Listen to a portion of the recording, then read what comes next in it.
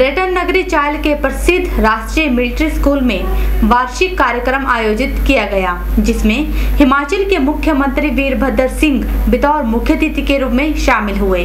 वहीं सामाजिक न्याय एवं अधिकारिता मंत्री कर्नल धनीराम शांडिल विशिष्ट अतिथि के रूप में उपस्थिति दर्ज करवाई।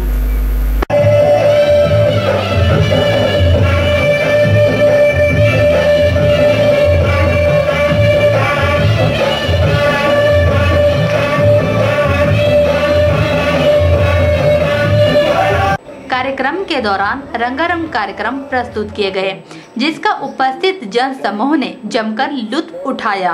स्कूल के प्रधानाचार्य ने स्कूल को प्राप्त ज़मीन न होने से आ रही दिक्कतों के बारे में मुख्य अतिथि को अवगत करवाया।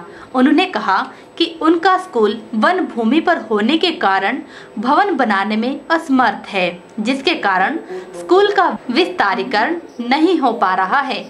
इस मौके पर हिमाचल के मुख्यमंत्री वीरभद्र सिंह ने सभी को संबोधित करते हुए कहा कि इस स्कूल से कई होनहार विद्यार्थी आगे बढ़े हैं और यह अग्रणी स्कूलों में शुमार है और स्कूल प्रबंधकों को आश्वासन भी दिया कि जल्द ही जल्द उन्हें वन भूमि के कारण आ रही समस्याओं से निजात दिलवाई जाएगी।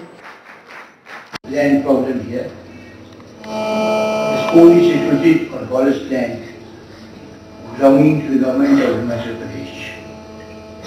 And there has been correspondence between the army and the state government for transfer of this land to the school so that government of India, Ministry of Defence can construct buildings and provide facilities, like drinking water, etc., uh, to this institution.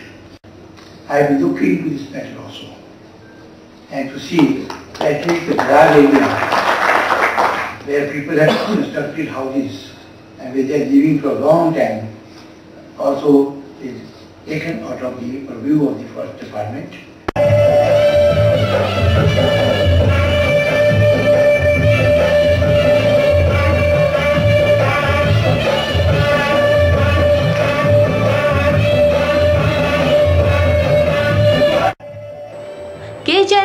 Solan से कीर्ति कौशल की report.